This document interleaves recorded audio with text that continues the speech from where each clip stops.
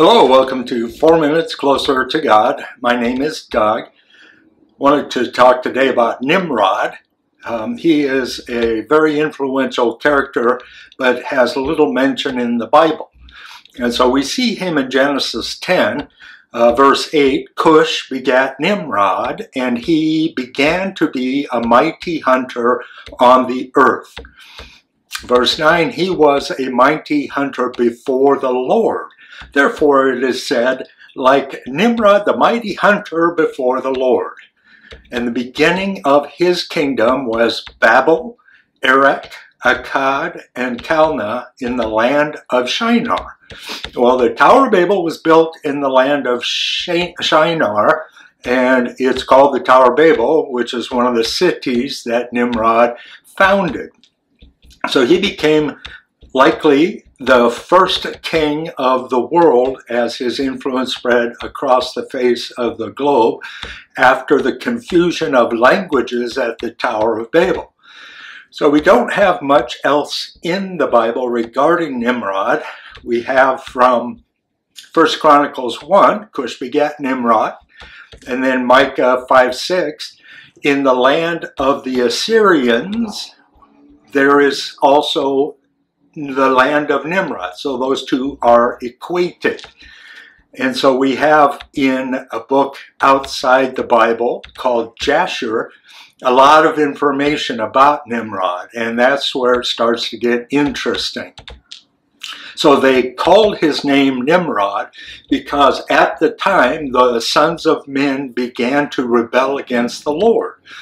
Nimrod comes from the root marad, which means to rebel. And so he became a tyrant in rebellion and he became a mighty hunter before the Lord, meaning he was against God in his face.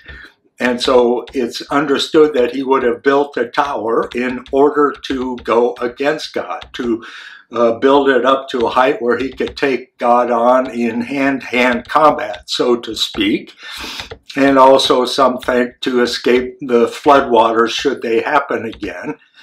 And so we have Nimrod uh, receiving the garments that God made for Adam and Eve from his father Cush, who had received them in a long train from Noah.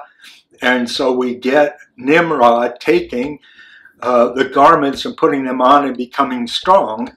And the God gave him might and strength, and he became a mighty hunter in the earth.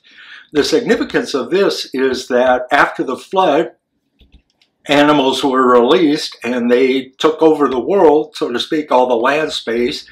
And so uh, they became a terror to the people, at least this is the idea. And Nimrod, uh, fearless as he was, took on the animals and became a mighty hunter, clearing out uh, the larger of the predators that people would face. And so, as a mighty hunter, then he gained this reputation. And so, all of the earth at the time was of one language. And so Nimrod did not follow the ways of the Lord, and because of that, um, the floods had risen, and then over all the earth, they began to rebel again. And so Nimrod was in the leadership in this rebellion against God.